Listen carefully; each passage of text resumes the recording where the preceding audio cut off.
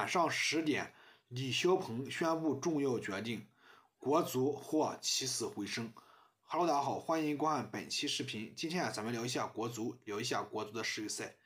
大家都知道，国足在世预赛前六场比赛中啊，打得非常差劲，只取得一场比赛的胜利，可以说离淘汰的边缘啊，只差一点点。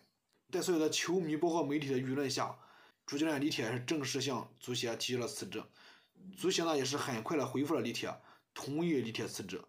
李铁辞职之后呢，新任主教练李霄鹏出任中国男足主教练。李霄鹏上任之后啊，很多球迷是认为李霄鹏的能力啊确实有限，因为他之前的执教履历啊也不是很好。他曾经执教过山东鲁能俱乐部，嗯，虽然两次打进足协杯的决赛，但是两次都输球了。对于李霄鹏在关键时刻的执教能力，确实让人非常质疑。李霄鹏上任之后呢，也是在晚上十点的时候，泰式面对球迷的质疑，也是宣布了最新的决定。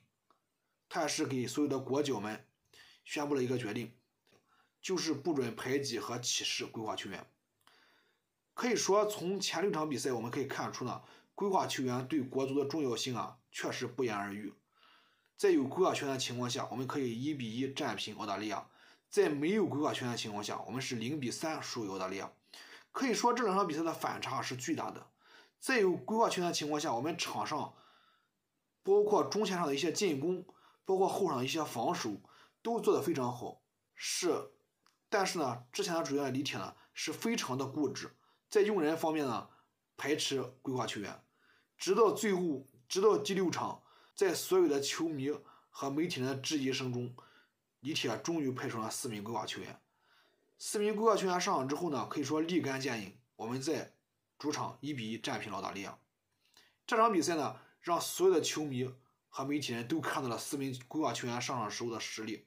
因为之前在打阿曼的时候，我们是很有机会战胜对方的，也是因为李铁的昏庸的换人换下了洛国富，最终导致我们一比一战平，倒数的三分飞了。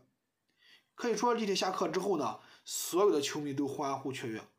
李小鹏上任之后呢，做的第一件事就是宣布重要的决定。宣布的第一件重要的事情就是，就是不歧视、不排斥规划球员。